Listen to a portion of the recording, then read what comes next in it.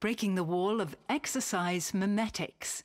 Borja Martínez Téllez, Falling Walls Lab, Spain.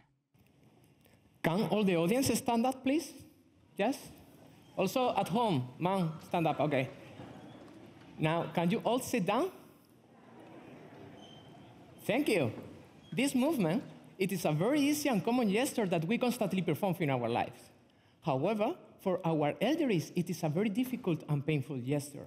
The difficulty of this movement is caused by a disease called sarcopenia. Sarcopenia is a degenerative disease in which the mass and strength of muscles are lost by aging, which impairs their quality of life. The prevalence of this disease is large.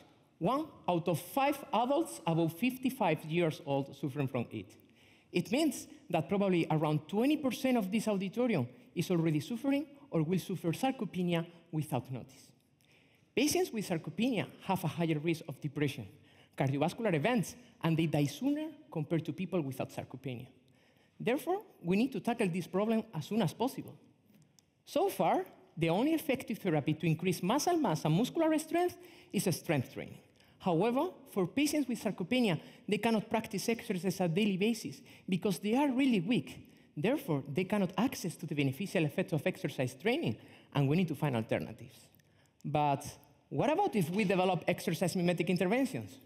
It sounds like an unbreakable wall, doesn't it? I believe that this wall can be broken thanks to the trillion of bacteria that live in our gut.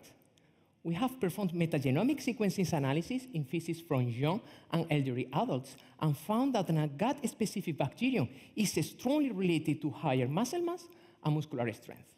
To confirm our discovery, we isolated this bacterium, cultured it, and gave it to mice.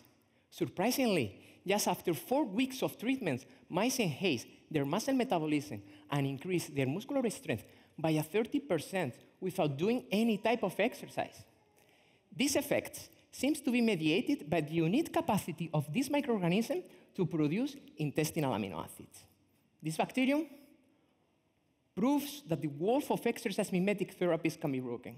And based on that, the ultimate goal of my own research group is to identify more exercise mimetic interventions, introduce them into different pills, and give them to patients that suffer from muscle loss. For instance, patients with cancer, type 2 diabetes, even people who are in wheelchairs, and of course, our elderly.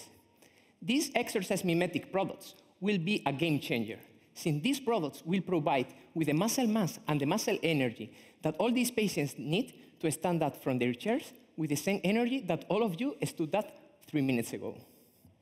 This bacterium will become in the first exercise mimetic interventions, opening a completely new research field, and I hope I can contribute to it. Thank you so much.